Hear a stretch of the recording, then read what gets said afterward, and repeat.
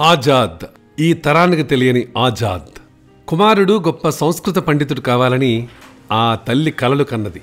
కానీ అతగాడు గొప్ప ఉద్యమకారుడయ్యాడు. ఇంతకీ అతడెవరో కాదు. చంద్రశేఖర్ ఆజాద్. ఆయన అసలు పేరు చంద్రశేఖర తివారి. జూలై ఇరవై మూడవ తేదీన పంతొమ్మిది వందల ఆరులో మధ్యప్రదేశ్లోని భవ్రా గ్రామంలో ఆయన జన్మించారు. తండ్రి సీతారాం తివారి తల్లి జాగ్రాణీదేవి. ఈమె మూడవ భార్య. మొదటి ఇద్దరు భార్యలు చనిపోయారు. చంద్రశేఖర్ని తల్లి ఒక గొప్ప సంస్కృత పండితుడిగా చూడాలని కలలు కనేది. అందుకే ప్రఖ్యాత హిందూ విశ్వవిద్యాలయం బెనారస్లో చంద్రశేఖర్ని చేర్పించారు. పదిహేనేళ్ళ వయసులోనే మహాత్మాగాంధీ ప్రారంభించిన సహాయ నిరాకరణ ఉద్యమంలో పాల్గొని డిసెంబర్ నెల పంతొమ్మిది వందల ఇరవై ఒకటిలో అరెస్ట్ అయ్యాడు. మెజిస్ట్రేట్ ముందు ప్రవేశపెట్టినప్పుడు తన పేరును ఆజాద్ అని తన తండ్రి పేరు స్వతంత్ర అని తన భావజాలంలో ఉన్న పదాలని ధిక్కార స్వరంతో చెప్పాడు. జైలునే తన ఊరు అని చెప్పి పదహారు హంటర్ దెబ్బలని శిక్షగా పొందాడు. వందే మాతరం నినాదంతో వాటిని స్వీకరించి సొమ్మసిల్లిపోయాడు. ఆనాటి నుంచి ఆయన చంద్రశేఖర్ ఆజాద్ అయ్యాడు. పంతొమ్మిది వందల ఇరవై రెండులో జైలు నుంచి విడుదలయ్యాక అతను మరింత కరడుగట్టిన స్వతంత్ర భారత్ అభిలాష్ అయ్యాడు హిందుస్థాన్ రిపబ్లిక్ అసోసియేషన్ స్థాపకుడు శ్రీ రామ్ ప్రసాద్ బిస్మిల్తో పరిచయం సందర్భంగా నీలో దేశభక్తిని చూడాలనుకుంటున్నాను అని అంటే చంద్రశేఖర్ ఒక వెలుగుతున్న దీపం మీద తన చేతిని ఉంచాడు. చేయి కాలినా అతను చలించలేదు.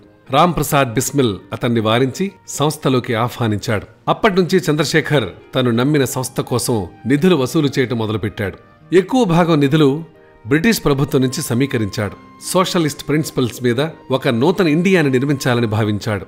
పంతొమ్మిది వందల ఇరవై ఐదులో జరిగిన కకోరి రైలు రాబరీలో అతని పాత్ర ఉంది. పంతొమ్మిది వందల ఇరవై ఆరులో విక్టోరియా రైళ్ళు పేల్చే ప్రయత్నం చేశాడు. నెహ్రూ నుంచి కూడా నిధులు వసూలు చేసేవాడు. రైలు రాబరీ తర్వాత ఆజాద్ అజ్ఞాతవాసంలోకి వెళ్ళాడు ఝాన్సీ సమీపంలోని అడవుల్లో స్థావరం ఏర్పాటు చేసుకుని తన అనుచరులకు తుపాకీ కాల్చడంలో శిక్షణనిచ్చాడు. పరిసర గ్రామాలలోని యువకులను చేరదీసి దేశభక్తి నూరిపోసేవాడు. అలాగే సైనిక శిక్షణ ఇచ్చేవాడు. పంతొమ్మిది వందల ఇరవై తొమ్మిది మే రెండున పార్లమెంటుపై జరిగిన బాంబు దాడి కేసులో భగత్ సింగ్ సుఖదేవ్ రాజ్గుర్లకు ఉరిశిక్ష ఖరారు చేశాయి న్యాయస్థానాలు. అది తెలిసి ఆజాద్ విచలితుడయ్యాడు. వారిని విడిపించేందుకు ఎంతకైనా తెగించాలనుకున్నాడు. ఎన్నో ప్రయత్నాలు చేశాడు. పంతొమ్మిది వందల ముప్పై ఒకటి ఫిబ్రవరి ఇరవై ఏడున జవహర్లాల్ నెహ్రూని కలిశాడు. విప్లవ వీరులైన భగత్ సింగ్ తదితరులు విడిపించేందుకు సహకరించమన్నాడు.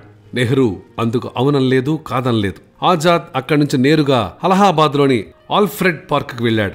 ఓ చెట్టు కింద ఇద్దరు మిత్రులతో కూర్చున్నాడు. భగత్రయాన్ని ఎలాగైనా విడిపించేందుకు వారితో చర్చిస్తున్నాడు. అంతలో వారిలో ఒకరు పోలీస్ ఇన్ఫార్మర్ అని అనుమానం వేసింది. చప్పున కుడి చేయి మోకాలి దగ్గరి రివాల్వర్ దగ్గరికి వెళ్ళింది. అదే క్షణంలో పోలీసులు చుట్టుముట్టారు.